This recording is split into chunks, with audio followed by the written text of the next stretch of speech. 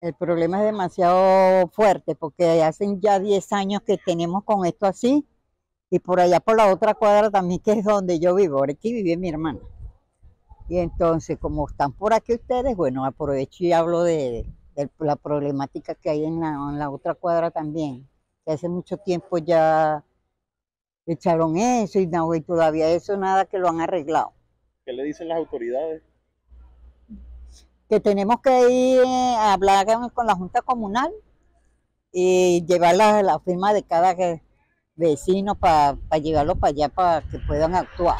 Pero la otra vez no hicimos así. ¿Cuántas familias se ven afectadas por aquí? Ahora varias.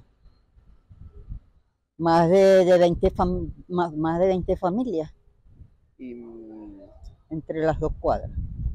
y ¿Cuál es el este, llamado que le hacen las autoridades para que le vengan a resolver esta problemática? Bueno, que les haga un llamado para que hagan el favor de venir a arreglar esta problemática porque ya eso tiene demasiado tiempo. Y entonces se han caído niños en bicicleta, motorizados también han tenido su, su accidente porque por los huecos.